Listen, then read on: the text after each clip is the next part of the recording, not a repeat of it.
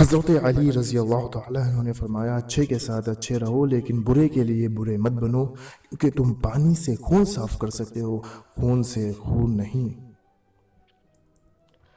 जब दुआ करते वक्त तुम्हारी आँखों से आँसू आने लगे तो समझ जाना तुम्हारी दुआ बारगाह इलाही में कबूल हो चुकी है। सबसे ज़्यादा काबिल नफ़रत वो शख्स है, जो लोगों में ऐब तलाश करता है। जब तुम किसी शख्स को उसकी दौलत की वजह से इज़्ज़त देने लगो तो समझ लेना तुमने अपना ईमान खो दिया है। कभी किसी को दुख मत दो, क्योंकि माफ़ी मांग लेने पर दिल में दर्द बाकी रहता है। जिस तरह दीवार में से कील निकालने पर सुराख बाकी रहता है। उस शख्स को दोस्त मत बनाओ जो किसी महफिल में आपको शर्मिंदा करे, चाहे वो मज़ाक में ही क्यों ना हो। किसी के घर जाओ तो अंधे बन के रहो और बाहर निकलो तो गूँगे बन के निकलो।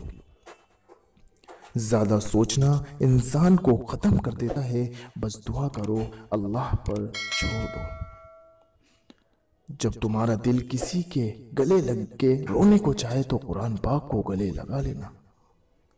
जब अल्लाह किसी को पसंद करता है तो उसे खूब आजमाता है बस तुम सब्र करना, क्योंकि सब्र करने वालों को मंजिल जन्नत है ज़िंदगी जब भी रुलाए तो समझ लेना गुना माफ़ हो गए, और ज़िंदगी जब भी आता है तो समझ लेना दुआ कबूल हो गई है Jazakallah. Thanks for watching.